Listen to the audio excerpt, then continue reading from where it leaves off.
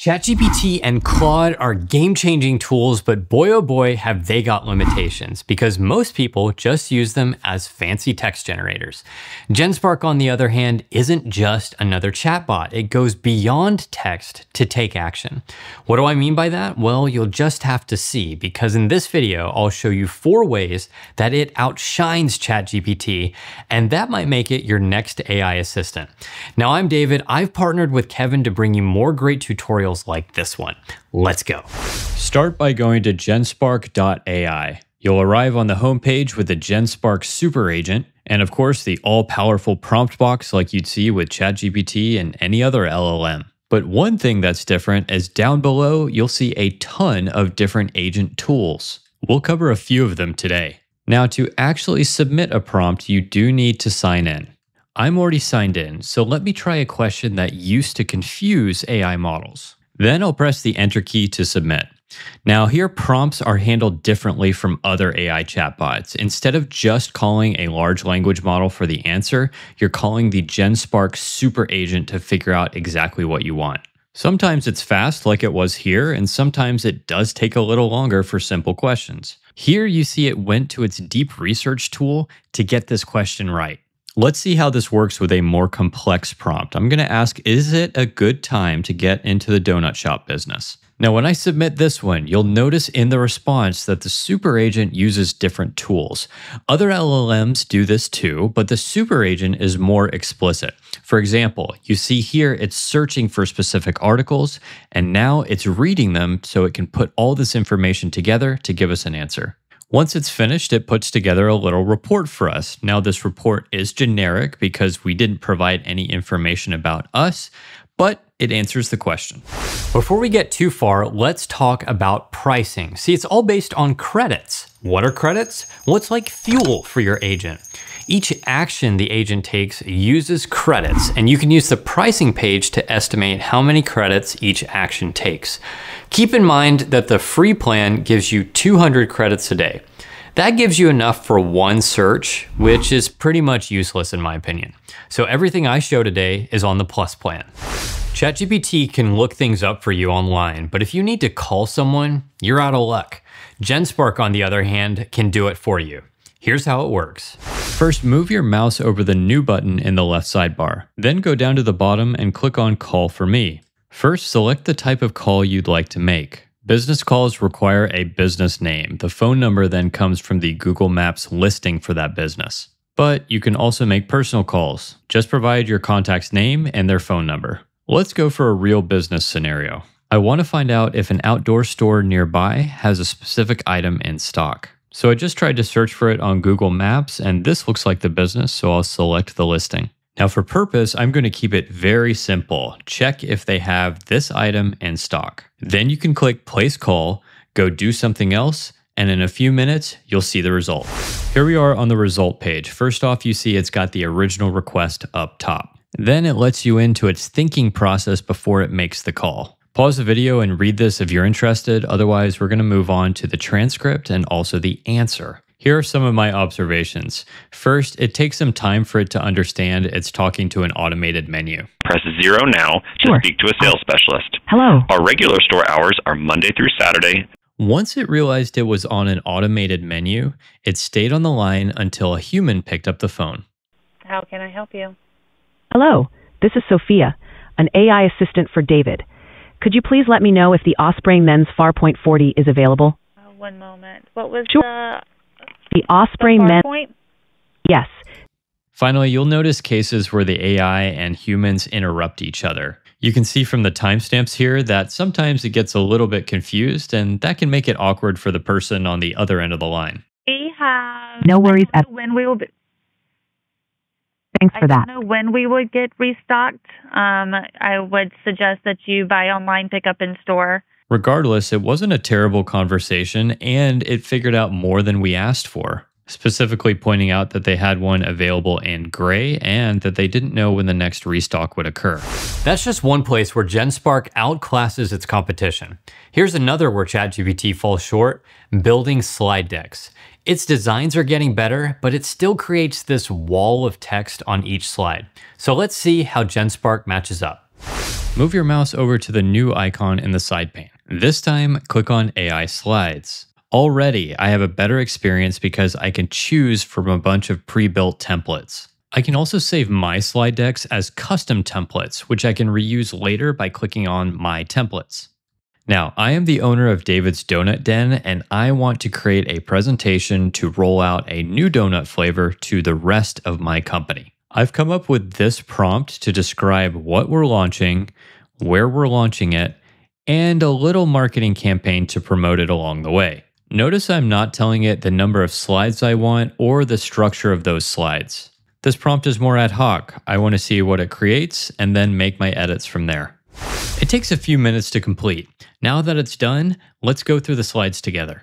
We start off with a polished title slide. We've got a pretty chic looking executive summary too. In fact, the rest of these slides look pretty compelling. There's no big issues with formatting or picture placement, and the design actually looks pretty good. You can even click on the thinking button on each slide to see what went into its creation. Now, let's say there's a slide you want to change. You've got two options to edit it. Advanced Edit is the edit most of us are used to. This is a drag and drop interface on each slide. Now, this isn't a PowerPoint replacement. It definitely doesn't have as many features, and one of the big ones it's missing is snapping elements to align with each other. I find it's better to use Advanced Edit for making changes to text. Now let's check out the other type of edit called AI edits. The last time I tested it, it was quite good. So let's see if this time we get a repeat performance. So here's my request. Can you change this slide to a different template that's warmer and has the attached picture on the opening slide? I'm going to go ahead and attach a picture and then click the enter button. Well, I jinxed it because it only got it half right. See, the template is definitely warmer, but it struggled trying to upload the image that I provided. Instead, it found this other donut shop image and made it the background. That's not good, but there is one more thing we can try in just a second. Before we go there, one thing that I find cool about GenSpark is that you can fact check content.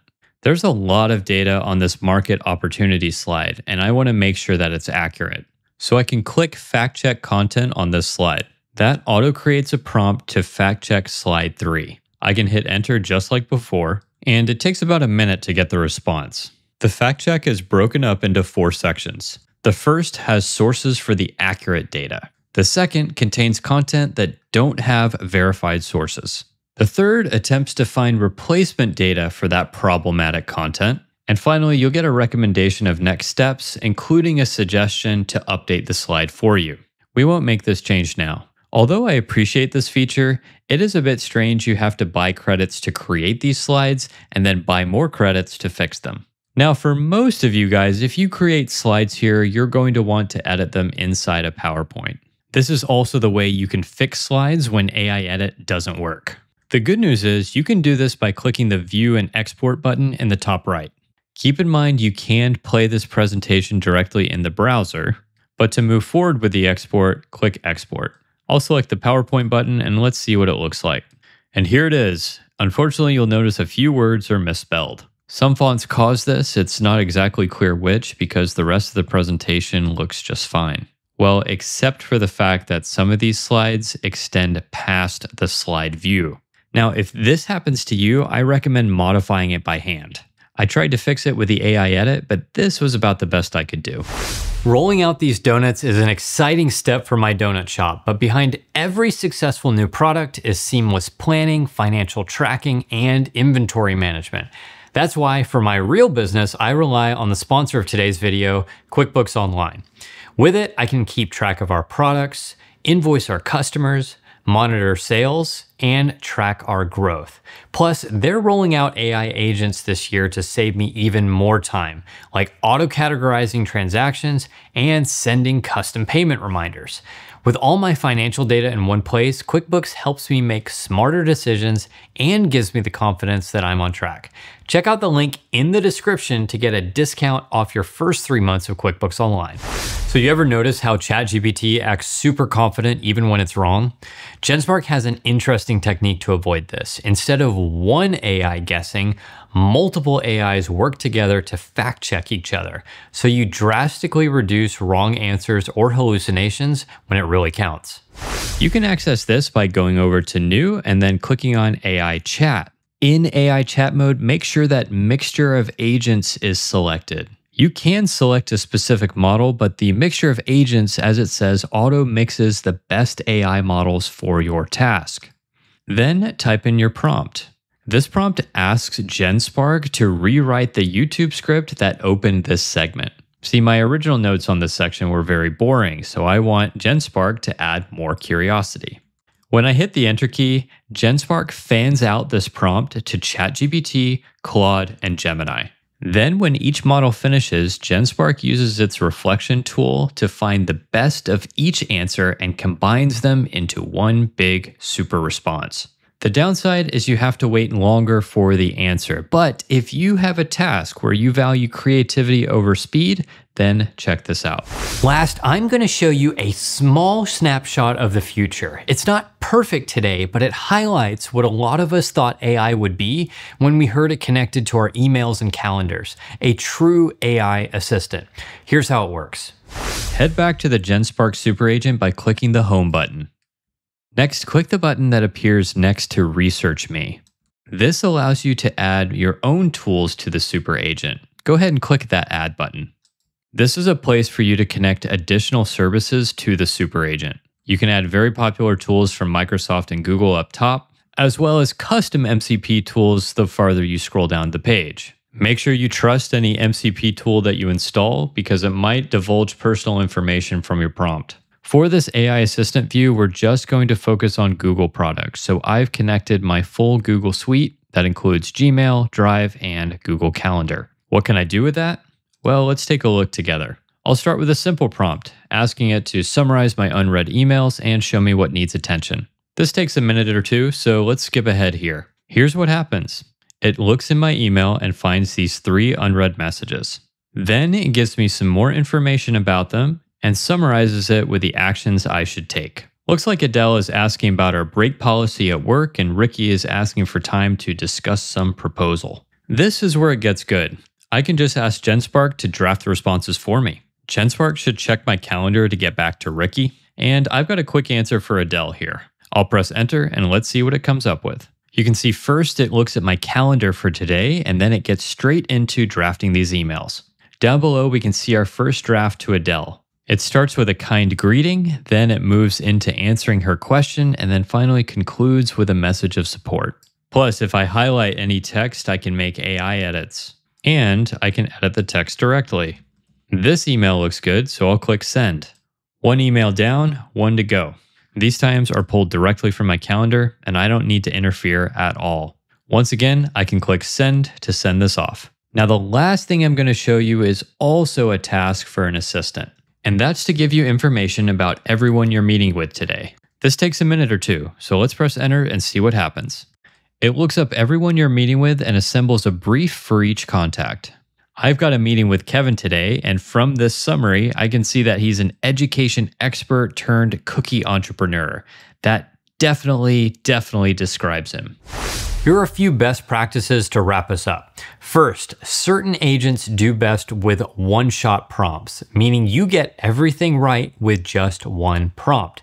AI Slides is a great example of that. So I suggest you use AI Chat or another AI chatbot to build your prompt first and then drop it into the agent for AI Slides. Second, if you don't want your data to be used to train GenSpark's model, turn off AI data retention by clicking on your profile icon, clicking settings, and then toggling the data retention switch. So we just covered how GenSpark can supercharge your AI chat and actually take action by sending email and making calls for you. This is the era of AI agents, guys, and it's only going to get better from here. Before you go, check out the QuickBooks Online deal in the description below. I'm David, and I'll see you in the next video.